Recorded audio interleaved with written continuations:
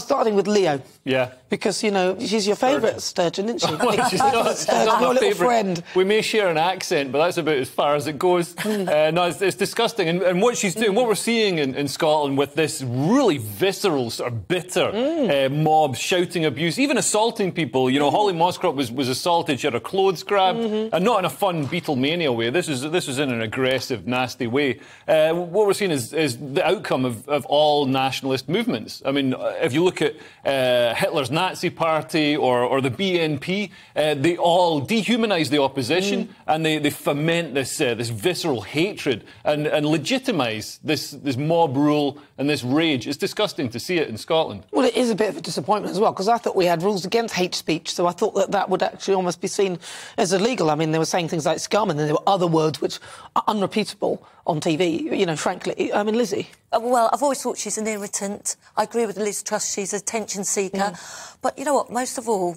she's irresponsible and dangerous. Uh, because, she, as you said, she's inciting, you know, anger, and mm. she's feeding the mob's growing rage. She's feeding it, mm. and and don't forget, we've had two British MPs that have been murdered, and you know, it just takes one person, this fanatical, that's what they are, to do something like that. And she needs to stand up. She, as a leader, any leader should stand up and absolutely be against this sort of behaviour.